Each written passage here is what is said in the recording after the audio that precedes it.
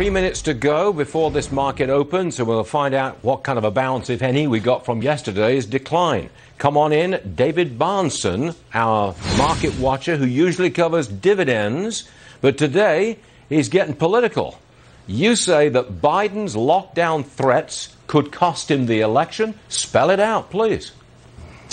It's it's pretty simple, Stuart. Uh, he has a lead in the polls. People have their own instincts as to what's going to happen or not happen, but I can't think of a bigger error he could make in the final week than to go forward with this ridiculous idea that he wants to be branded as the lockdown candidate. The fact of the matter is that everything you said in the prior segment is completely correct. We are dealing with a virus that is spread and that the hospitalization data has stayed reasonably contained. The ICU and multi day stays are way down, and the mortalities are way, way down, about 75% from peak levels. This notion that he wants to threaten the middle class and lower economic rungs of people with further lockdowns is insane.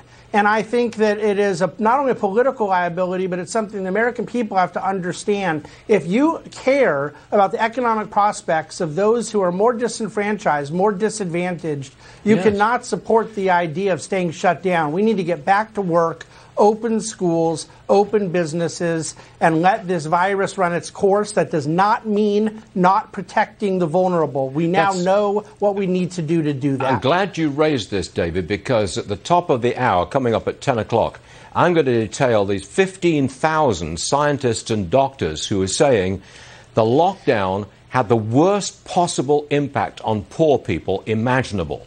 I'm glad you brought this up because I'd like to bring that into the argument as we're thinking what to do about the second wave and when it arrives. Uh, last 30 seconds to you, David. Yes, well, I want to point out that Biden said in the debate, "Oh, the the rich are getting richer, billionaires have added to their, you know, stock portfolios and yet the poor people are getting hammered." That's because of lockdowns. That's because people that wear a tie to work, yeah, they can go on Zoom, I guess, and do this nonsense. The fact of the matter is that other people that bus at restaurants, bus tables, service workers, they can't. We got to get this economy open, Stuart. Oh, glad to hear it from you, David. Thanks very much for turning away from dividend plays for a moment and going to a really interesting political issue. David Bahnsen, see you again soon. Thank you, David.